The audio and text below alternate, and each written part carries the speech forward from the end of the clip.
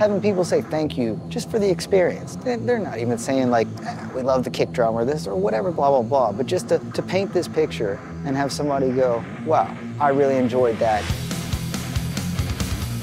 My name's Eddie Mapp, and I'm front of house for Pantera. We are currently in Hamburg, Germany. My name is Jerrell Evans. I'm the monitor engineer for Pantera, and it's been uh, a really cool whirlwind.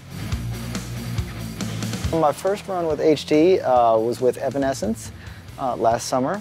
I had Jim Rose with RPM Dynamics send down a package for that um, and took that out until uh, mid-September, uh, at which point we started um, Pantera rehearsals and I had Jim put together a front of house and monitor package shipped that down. We jumped straight in uh, to that. And most recently, I did a festival with Korn, and that was uh, a festival in Las Vegas with uh, HD 96, and also supplied by RPM.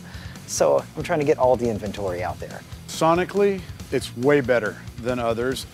On the Metallica, we are adding a second drum kit which will have another rack underneath that drum kit that'll have two more DL231s in it and then we'll have one amplifier in there that will drive the drum sub and the wedge and the shaker for the drum throne. Basically, everything on stage lands at three 231s and then travels via 9680s fiber to the monitor desk.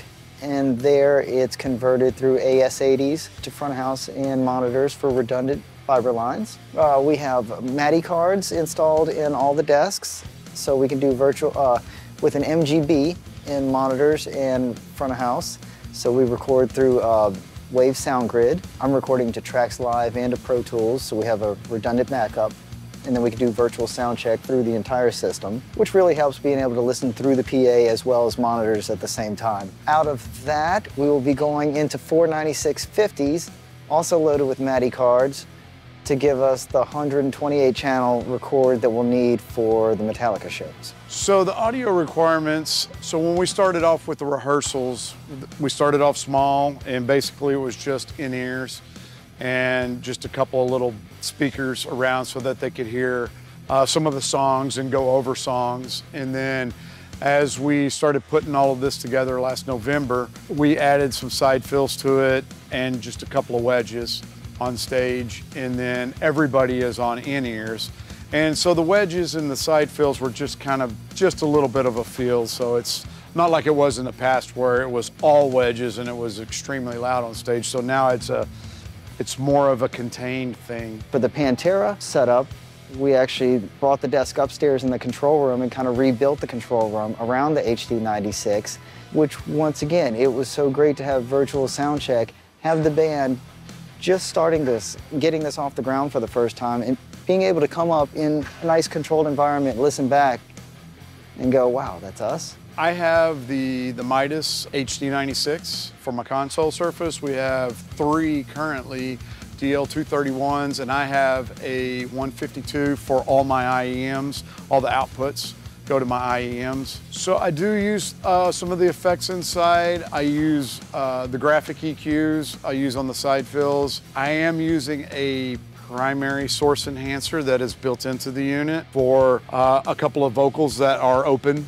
all the time on stage that are not being used all the time, but only as, as backups and I have a couple of reverbs that I'm using on drums and on some of the vocals. I do use the transient plugin that is on the unit for the drums, which is really nice. It kind of makes all the drums stand out a little bit.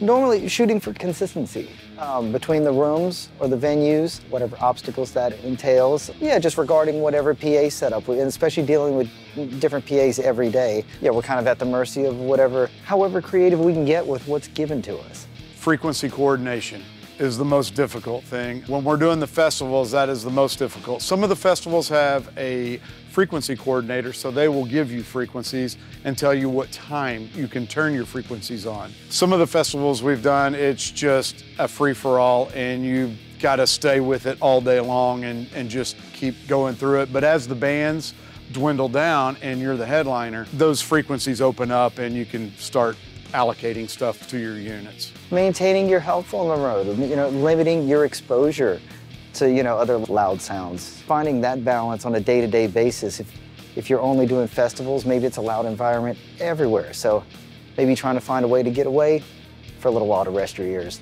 What I've noticed with the Midas, when you start off with a clean slate, you have all the input channels, you just plow through them with a the button, it just goes through all the channels that are there.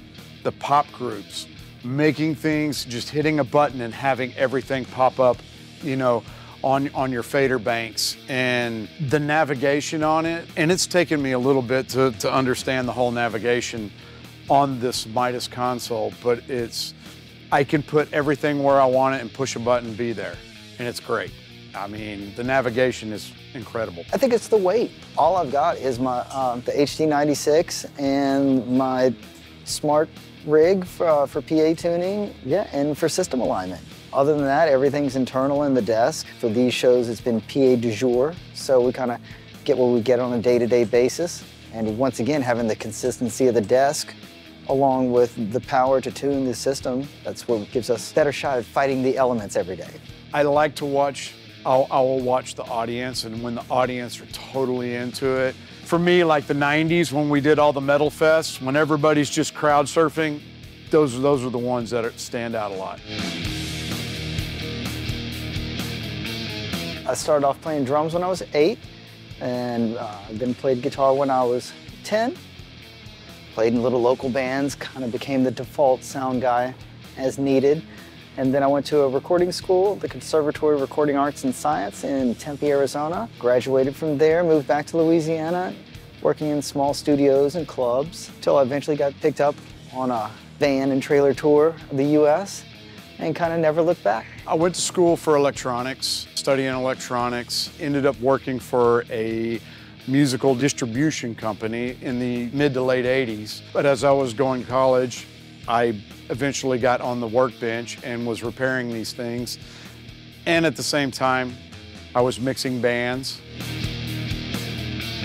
The monitor position is a very hot seat, but just listen to the artist, what they're looking for in their mix and help them out as much as you can. Work with them, try, try to help them out because sometimes they don't have the tools to make things sound better in their in their in-ears or in their wedges. I mean, because sometimes you're mixing some very loud wedges and you know it can be difficult but you know stick with it. Love what you do and be passionate about it. I just want to say thank you so much to midas and the whole team pete max chase jim and everybody for all the support and you know the list can go on. But thanks so much for making all this happen